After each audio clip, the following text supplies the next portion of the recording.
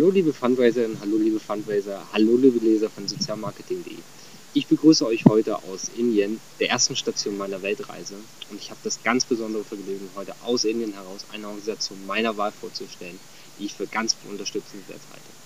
Ich musste ehrlich gesagt nicht sehr lange überlegen, welche Organisation es sein wird. Ich habe mich für die Plattform und den Verein foodsharing.de entschieden eine Organisation und eine Plattform, die es sich zum Ziel gesetzt hat, die Lebensmittelverschwendung in Deutschland einzugrenzen und darüber auch zu informieren, dass Lebensmittelverschwendung in Deutschland und in der ersten Welt ein massives Problem ist.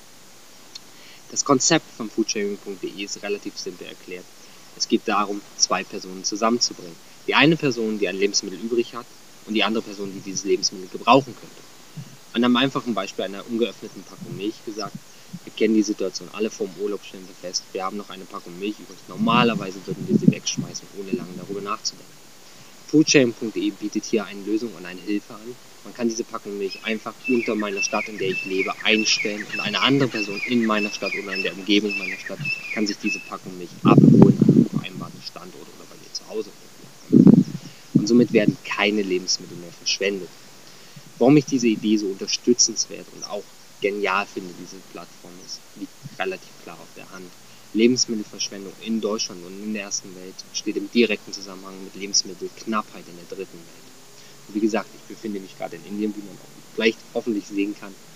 Und leider sind hier immer noch 200 Millionen Menschen täglich von Lebensmittelknappheit betroffen.